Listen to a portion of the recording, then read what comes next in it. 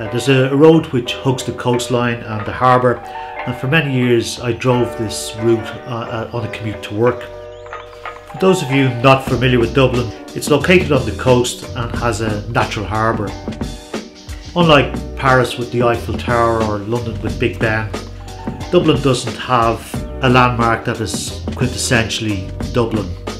But for many Dubliners, the, the chimney stack of the Pigeon House, which is a power station, acts as that iconic image. Very little work has been done on the image. The idea was uh, to produce uh, degrees of blur in the foreground. What I was trying to do in that project was to capture or make images which were suggestive of the type of things that you see or half see or incorrectly see described as something that you've seen out of the corner of your eye. Uh, the beach and nature reserve are used extensively by the local population so it serves as a, an ongoing source of photographs for my work.